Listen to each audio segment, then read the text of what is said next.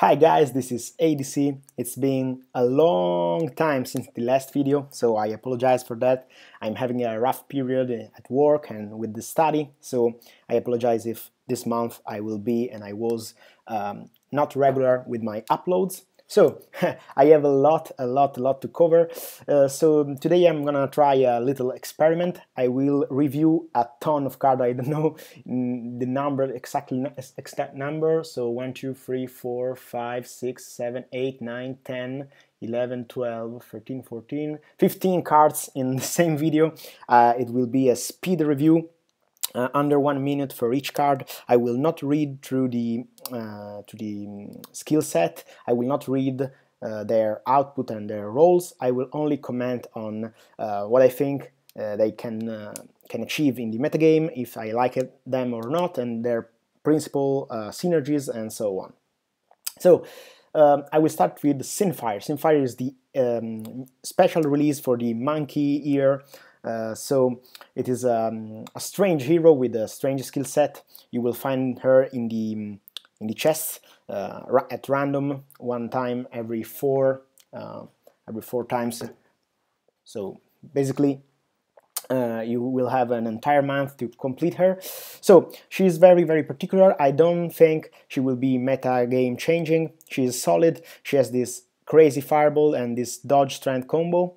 Uh, she's very solid overall, a lot of dodges and a lot of damage and minus damage. So very good. I don't think she will be uh, meta game right now, but she has synergies with um, the Berserkers and the Beasts and also uh, with Hime uh, for uh, Kotobas. So it's good, not a great hero, but good.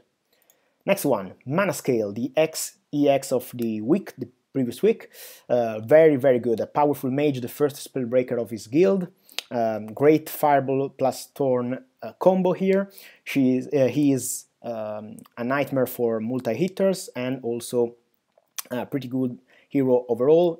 Great, great output, uh, very, very solid, and also this Spellbreaker here, very useful in the metagame. So, very good. I've used him uh, all all the the week since since today. So and I've made a lot of points, so I think he will be meta for sure, and I expect um, a lot of him. Very, very good. The, my favorite EX in a while, so very, very good. Then, okay, the Avalonia patch. Avalonia patch was last week, a lot of heroes to cover, so let's dive in. Lady Jane. Lady Jane was um, incredibly uh, underused. She was uh, a bad, bad, bad hero. Now she has a crazy skill set. She resembles um, quite a bit um, Okandari's style in the way that she can go all, all yellows or red and blues, and she has an overall good output and uh, a great uh, utility with this All Purify 2. She is still a difficult hero to play, so I don't think she will be a real, real um, metagame hero right now, just because there, um, there are a lot of better choices as for uh, priests. She has this All Purify 2 that will come in handy if the metagame shifts towards minus damage or um, again uh, frostbite and powder maybe. But right now I think I'll prefer to her um, Lady Ylith even though his all purify is just one and not two but very very overall um, more solid Lady Ylith so Lady Jane is good, is playable, but I don't think she is meta worthy uh, for the Master League at least right now but I like her so Let's go with Aetz, King of Avalonia. Um, a minor change here. Um, Eric took his shield and turned into a more powerful strength buff and a, noble, a, a tiny noble hit. Overall, Aetz was a good hero. Even before the patch, he had this crazy, crazy um, shield in the first skill that was uh, not synergic with his riposte count, so it was bad. Um, getting rid of this um, this shield was more than enough. Now Aetz is solid. He he has a great damage output uh, alongside others uh, Avalonians, of course. He's a um, heavy hitter and has an utility um, role with his all riposte 2. Riposte is a minor buff, but still a buff, so Uh, it's very good, um, minor change, but I like it. Um, not sure if it can be a metagame card. I think Avalonians right now are more of a niche guild. Uh, they are suited for maybe Champion League, not not for Master League. So, Enguerrand. Enguerrand, I'm not so excited about him. He received um, a minor buff. Uh, he is solid. He has a lot of um, output. So as you can see, uh, he can go full noble with 3000, 2900. So he's very powerful, but I don't like his skill set a lot. He is not so versatile. Um, he has just one way uh, to be played, and also he is very weak to smite, and that's not not, not so good. So um, I like him. Uh, he does not synergize, of course, with Dakiza, but he synergizes with um, King Gaetz, of course, and um, the Queen. So he is a perfect, uh, good, uh, good hero for the um, mono Avalonian team. But um, overall, I don't think he's a metagame worthy card. But just good, even for um, new buys. It is a really, really good card for new buys. Miria. Miria is the, the card I liked the least in the in the Avalonian patch, and that's because of her third skill here.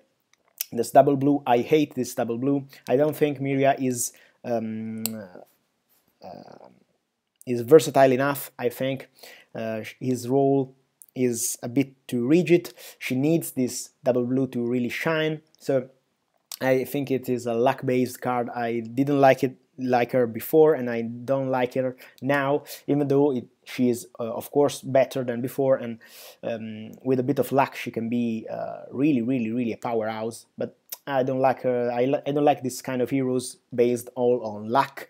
So not my style even though she can be pretty um, pretty effective with this spellbreaker here and this crazy double uh, blue roll here noble heal 502 for it 2050 uh, 250 so very very good uh, great output but not very versatile and also luck based so then Sevilat. Sevilat was the um, most welcome surprise for me uh, in this patch. Um, now his blessing count is doubled, so finally priests have um, at least a good um, a good buffer, not a crazy buffer, not a um, game-defining, uh, meta-game defining buffer, but a good buffer. And also his overall uh, standalone um, uh, performance is better now with his shock free three times strength and smite 2. So he is better. He is better and more uh, useful. Now Sevilat is a proper buffer. You can use him in a um, competitive team. It is good. It also um, pump a lot of um, Avalonians, so Mono Priest Avalonian decks are uh, available right now. Uh, so I like him very much. He's he's good. He's really really better on his standalone side and also you know on, on his buffer side. Very good. Thunder King. Thunder King is my favorite card of this patch. He is a crazy output guy, a powerhouse. He is ignorant and all focused on lightning and dealing a ton of damage to your opponent. His style is predict predictable and also easy to counter. Uh, he suffers dodges and he suffers uh, very much Scarab and other things, but he is solid. Man, he has this crazy double Altered Rebel Rainbow 1 and 2, 3000. that's that's really, really uh, crazy. He has an, an output, uh, a stellar output, so I like him very much. He also is a um, so he synergizes with um, Anriena maybe, so very very good. He suffers of course uh, even uh, Purify uh, because his output is largely um, based on the lightning he left after he attacks, so he's very good. Uh, Thunder King is a one massive behemoth stated here, and uh, I completely agree. It's my favorite card of this patch. Very, very good. I don't think he will be meta right now just because uh, the meta game is more uh, strategic, strategic and tactical, and Thunder King is not strategic, not tactical. It is brutal. So as a card for new buys, it, it will be uh, invaluable for new buys. But uh, for the Master League, maybe it is too um, too raw, maybe to to see yeah to no not so not so tactical not so good in um, in a particularly complex environment, but I like him very much. Crazy, crazy output, very, very good.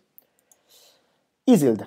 Isilde uh, is really better, um, a um, tiny buff here, but uh, a buff that counts. Now all her reds turns into swords, and she has this Noble Lightning 300. She is based all on lightning, just like Thunder King, so she is the Thunder Girl, you can say.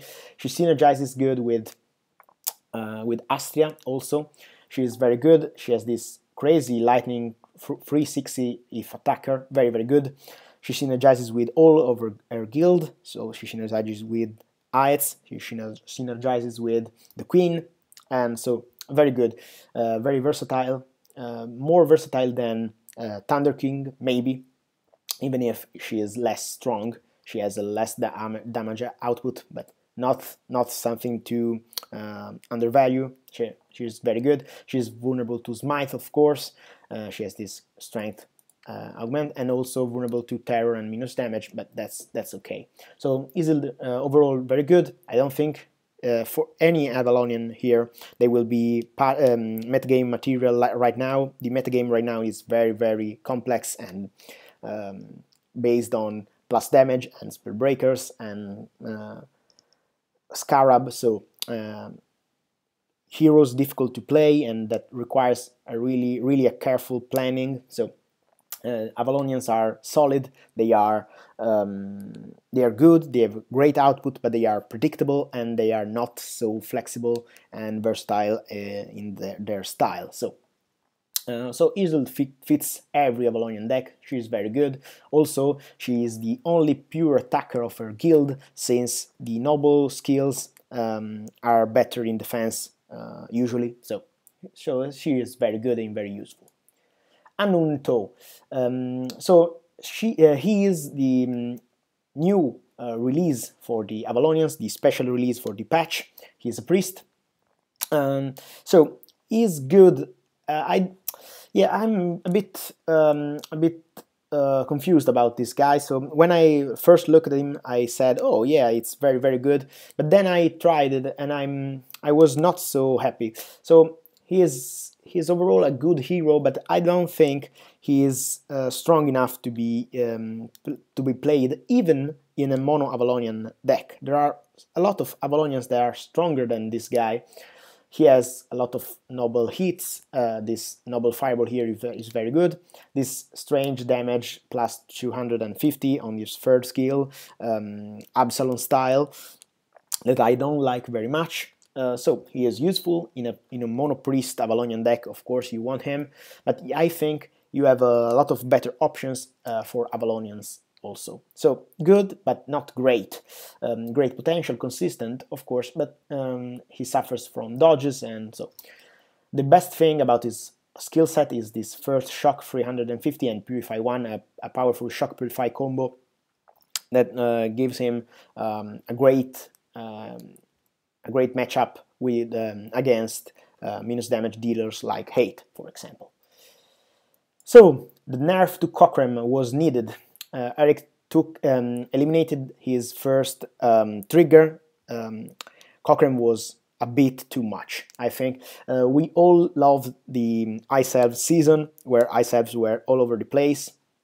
Uh, it was a great shift in the metagame, and Cochrane was simply outstanding. He was the best card released in the in the patch for um, Ice Elves, as I said in the dedicated video, but it was um, it was too much. Right now he is balanced. He's still a great hero. Um, Ice Elves are still playable, are still good, but now uh, right now they are not OP.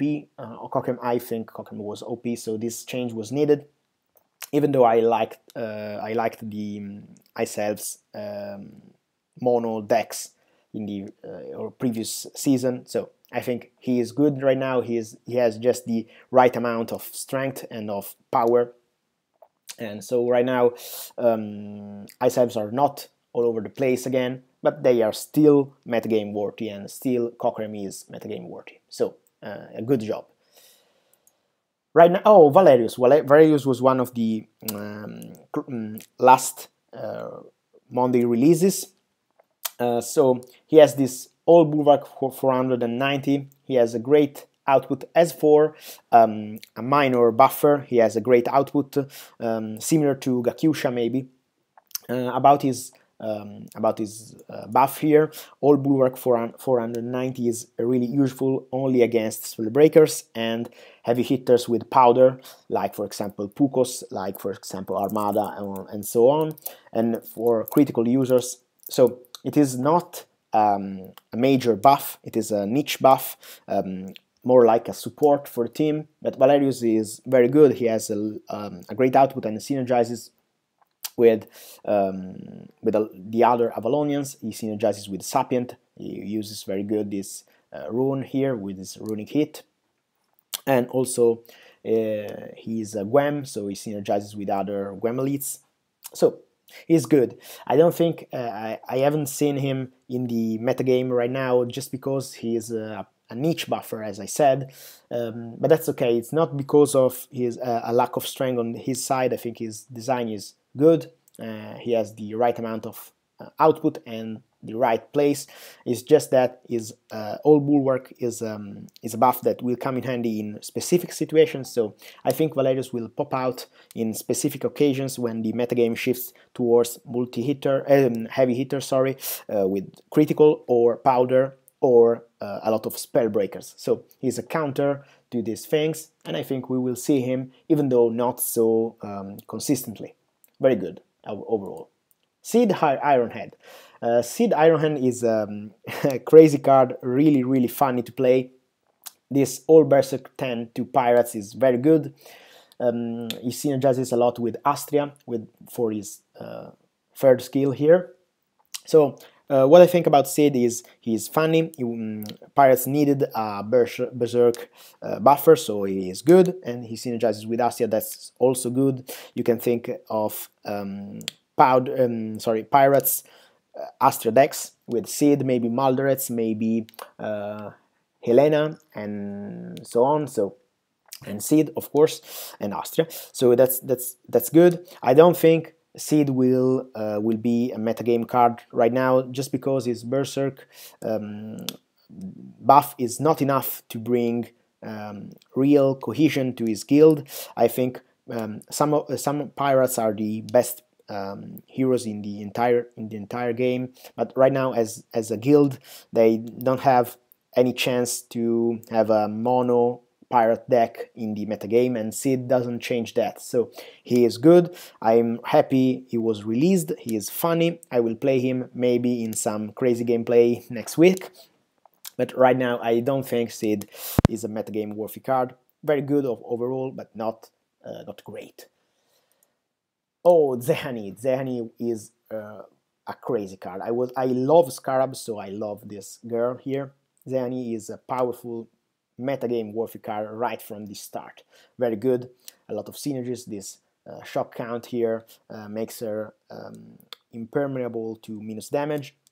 This uh, Scarab in the first skill is very good, very cost efficient with Blessing 100. She is good against early um, early heavy hitters and also in defense you can be good against uh, second skill heavy hitters. So very good. Of course, um, as every every Scarab hero, she is more like a standalone. She does not synergize with a lot of cards, so that's uh, that's her con side. She's not so uh, good with um, other buffers. She does not synergize with dodge. She does not synergize with the shield and other um, and other buffs. So she is a pure standalone, and also she is very difficult to use.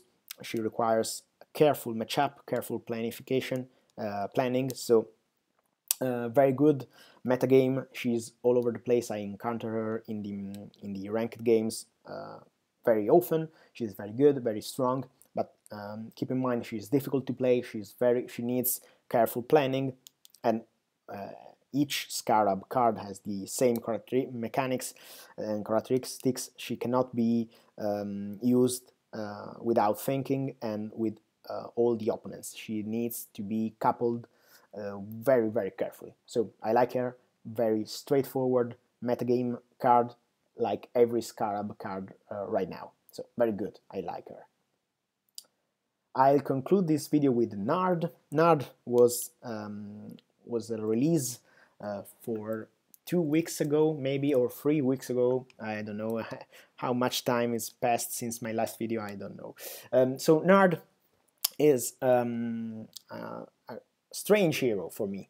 Uh, his buff is invaluable. I don't think uh, dodge is enough to make the Zeal guild consistent but I think dodge was needed and Nard brings a little um, cohesion to the guild. I've seen a lot of um, Decks with Terrific and Lunatic, and maybe the Psychologist with Nard, and they are good. They are doing good. I don't think they are um, top master class decks, but they can be uh, effective in Champions League for sure, and maybe even even in the lower Master League. So Nard brings cohesion to a guild that has little to no cohesion at all. At all so she's good, uh, but I think she is weak.